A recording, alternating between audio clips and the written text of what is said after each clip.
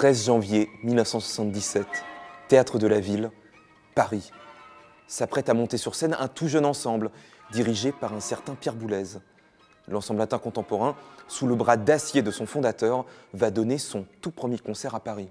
Le programme est comme une carte d'identité des œuvres de Boulez lui-même, Xenakis, Ligeti et Sinopoli. Au début du programme, prend place une création d'une œuvre pour piano et ensemble d'un tout jeune compositeur de 25 ans, un certain Philippe Manoury.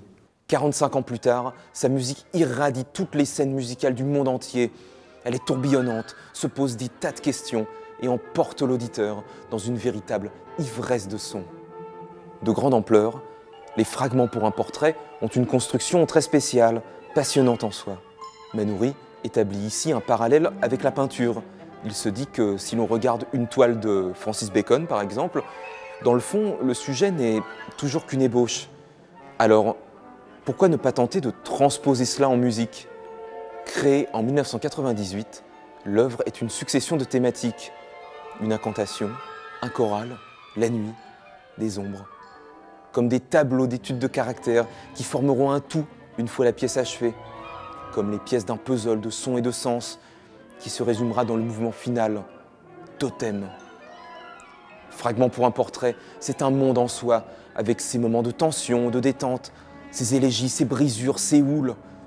On retiendra notamment le mouvement central, vague paradoxale, scarzo fantastiquement étourdissant, dont l'écriture est directement tirée de techniques électroniques. Moderne et inattendue, mais reliée à la tradition.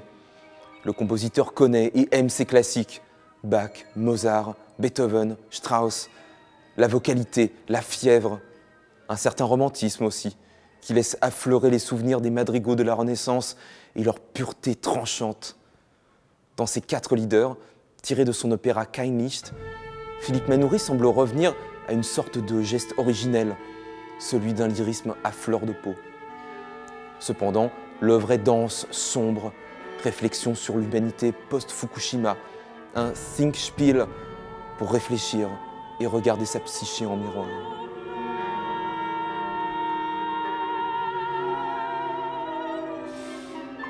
Mais que serait un concert de l'ensemble intercontemporain sans une création? Commande de l'ensemble et des mécènes Françoise et Jean-Philippe Bilaran, Grammaire du sonore est une véritable somme des travaux de Philippe Menoury. Cette nouvelle œuvre, pour grand et même très grand ensemble est conçu comme une sorte de concerto grosso contemporain, dans lequel chaque musicien ou groupe de musiciens peut briller à tour de rôle. Le titre fait référence à la recherche au long cours du compositeur de ce qu'il appelle une grammaire musicale générative. Traduction, comment construire des phrases et même un véritable discours musical par le jeu de l'écriture. Résultat, une création ludique, intense et spectaculaire dans laquelle l'ensemble latin contemporain brille de tous ses feux.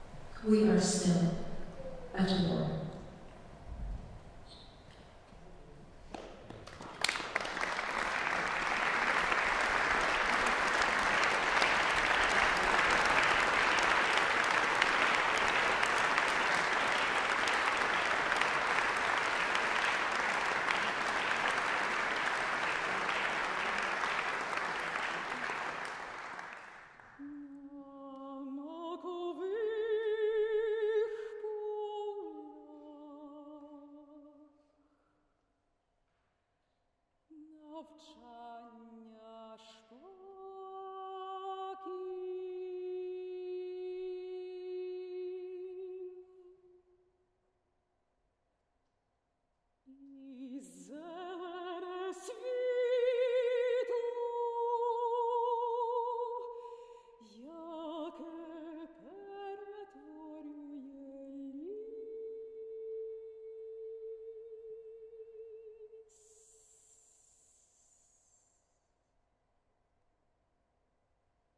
Na Instagram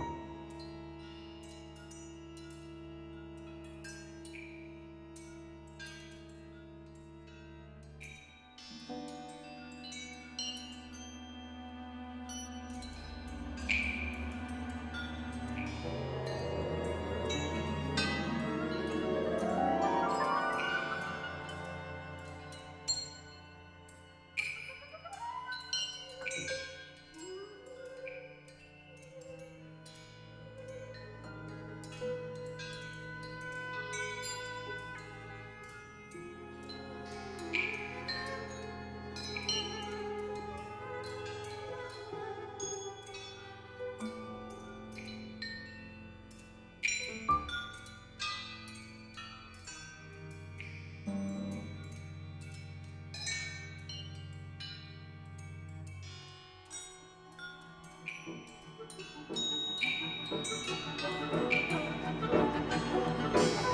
you.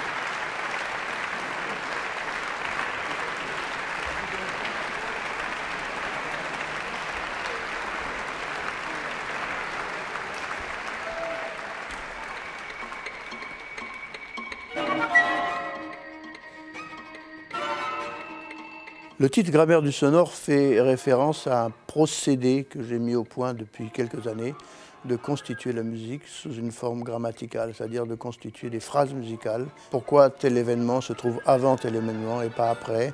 Pourquoi tel événement se trouve en même temps? Et euh, je pense que ça me permet d'atteindre un certain niveau de cohérence. L'expression, évidemment, m'intéresse beaucoup, mais euh, pour qu'il y ait une expression, à mon avis, il faut qu'il y ait aussi une cohérence interne.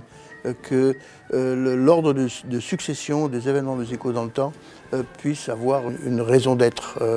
ce qui m'intéresse d'ailleurs à ce niveau-là, c'est aussi de provoquer, si possible, des phénomènes d'anticipation. L'anticipation est quelque chose qui me tient beaucoup à cœur.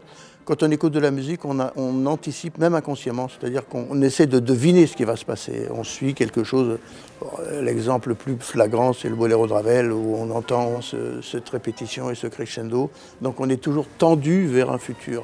Et quand on est tendu vers le futur, on, essaie d'anticiper. Et avec ces grammaires musicales, euh, quand il y a des, justement des connivences, des éléments qui se trouvent les uns après les autres, euh, idéalement, je pense qu'on finit d'attendre que le suivant va arriver. Et donc, ce n'est pas la première fois que je le fais, mais dans cette œuvre, Grammaire du Nord, j'ai conçu une autre manière de l'organiser.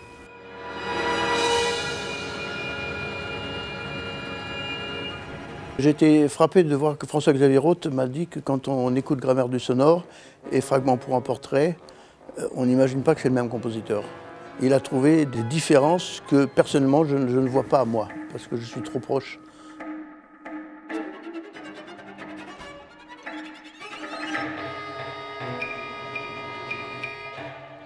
Et François-Xavier Roth, c'est quelqu'un qui aborde les partitions avec, je dirais, une intelligence rare. Il s'intéresse non pas seulement à la, mise en place et au fonctionnement général, mais il inclut l'expression. Et tout de suite, quand il découvre euh, ce texte musical au moment où il dirige les premières répétitions, j'ai vu que tout de suite, ça faisait résonner en lui différents types de questions et demander aux musiciens de jouer avec des sons un peu plus courts, des, des staccatos un peu plus prononcés, au contraire des sons un petit peu plus longs, ou au contraire de trouver des couleurs sonores. Et j'étais très euh, enthousiasmé par la manière dont il a amené sa touche personnelle.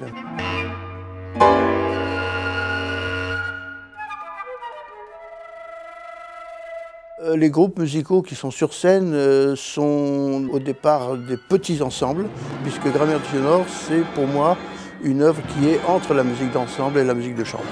Et donc il y a un trio il y a un trio à cordes, il y a, des, groupes de cuivre, et ces groupes, des fois, finissent par se mélanger. Par exemple, il y a une trompette euh, qui peut faire partie du groupe de cuivre, comme elle peut faire partie du groupe de vent. Et donc, euh, j'aime beaucoup l'idée de groupe pour les dégrouper, pour que ces groupes éclatent et se recomposent différemment.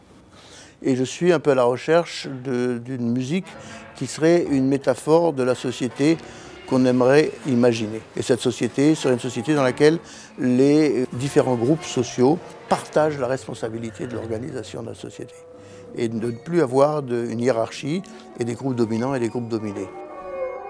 Il y a des instruments assez particuliers dans, cette, grammaire du sonore, mais qui m'a été un peu dicté par les personnalités qui composent cet ensemble, parce que ce sont des gens qui euh, jouent de plusieurs instruments, c'est-à-dire que euh, j'ai beaucoup travaillé avec Philippe Gros-Vogel, par exemple, qui joue du hautbois, du corps anglais, mais du hautbois baryton, qui est un hautbois très rare et qui est très intéressant. J'ai beaucoup travaillé avec Clément Saulnier sur la trompette à deux pavillons, sur le bugle, le cornet à piston, sur la trompette piccolo. J'ai un goût assez prononcé pour les percussions. J'inclus par exemple le steel drums de Trinidad, les marimbas, les, vibraphones, euh, les cloches-plaques. Euh, et je trouve que dans, dans, la percussion, il y a justement cette floraison, ce qui fait que même depuis très longtemps, les percussionnistes sont des polyinstrumentistes.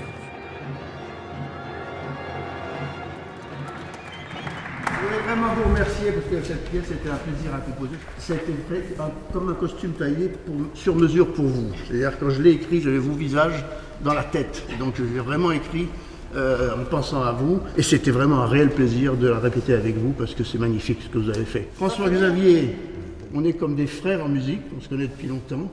Et à ce titre-là, je pensais connaître l'étendue de ton talent. Mais finalement, j'étais moins du compte. J'avais beaucoup de choses à apprendre et je les ai appris. Ce que tu as fait, c'est absolument extraordinaire. La, manière et l'intelligence musicale que tu as mis dans, cette, dans cette, la conduite de ces répétitions est quelque chose, je dois dire, très rare. Euh, et tout le monde l'apprécie.